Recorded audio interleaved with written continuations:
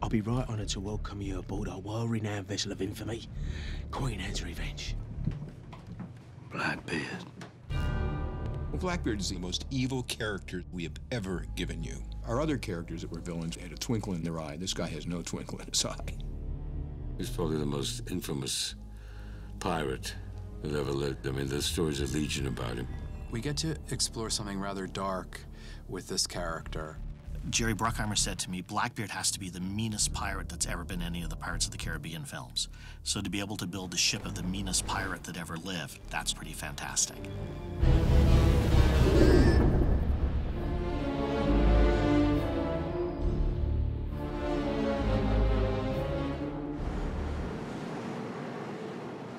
I'm uh, Captain Kiwi. I'm the captain of the boat, the Black Pearl, or Sunset.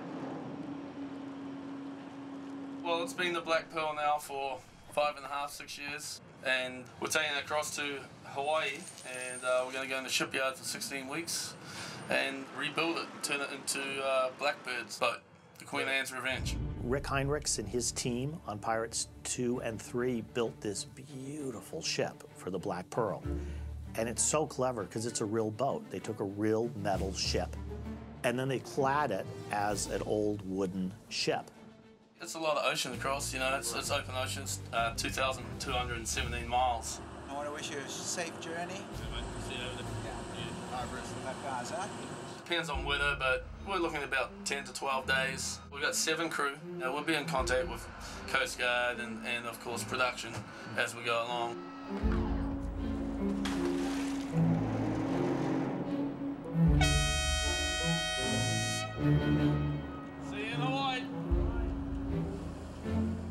Kind of sad to see the pearl go away too, you know. Um, yeah, it's uh, it's definitely been an experience running the boat, and I've enjoyed it.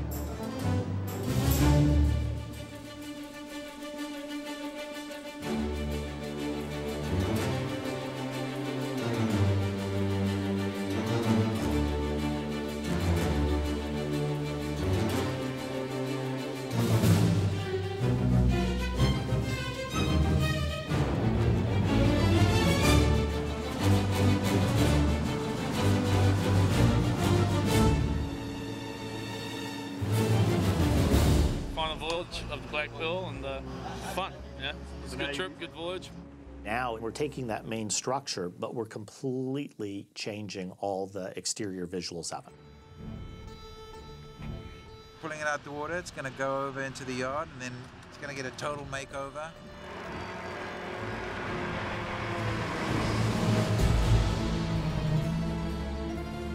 One for the front here one for the side. We made it radically different with the silhouette. We basically cut everything above the deck off, and we stepped it up two stories.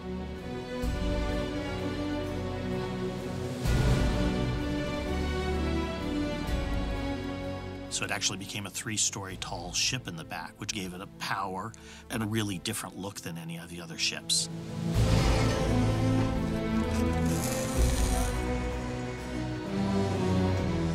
Big day for us, yeah? Yeah. Launching this bad boy, see if it sinks.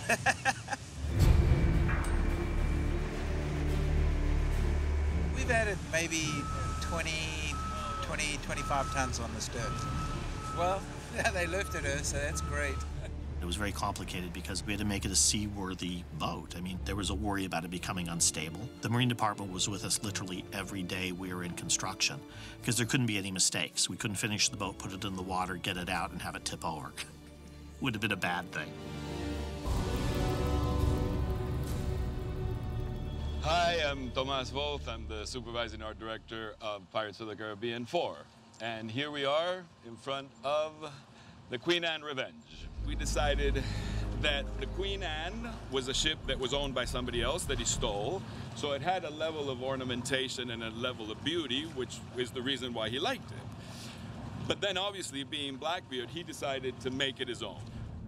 Jerry Bruckheimer was looking at the designs. He said, I want some skulls on the boat. And I just immediately went, oh my God, I remember seeing the Bone Church outside of Prague. It's a church that was completely decorated in the bones from a cemetery. And I just knew instantly this was the way to go. Blackbeard's truly evil, so I think the ship had to kind of portray that he's a very dark character. The whole upper deck is made of skulls of his previous victims. So I think that's kind of an interesting twist. So, obviously, what we did is we went out and killed 300 people, and then, no, just kidding. so, what we decided to do is we got molds, and these, as you can see, are all rubber, so that when we have stunt work and there's a fight, and people can go straight into it and bounce right back. See, you can hit them and they won't break, but they give. There we go.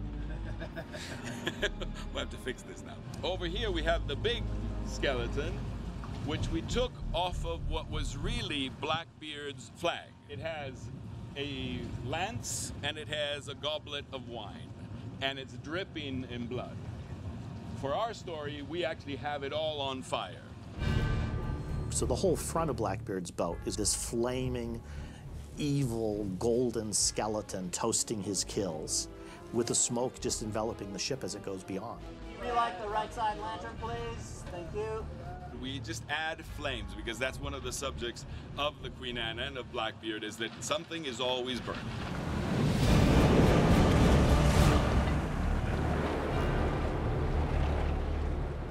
We can see a lot of evidence in the whole boat of cannons and they just didn't fix them anymore. This is very much Rob's concept of the boat on its last legs. Because not only Blackbeard is a dying man, his ship is a dying ship. The other thing that we did, which was fun, because again we wanted to make him mean, was that we dyed the sails blood red.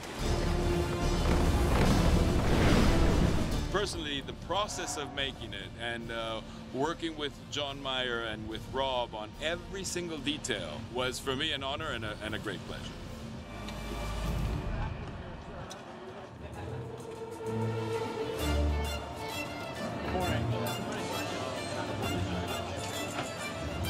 Amazing the difference. I mean, the, the height, uh, it, it looks twice as big.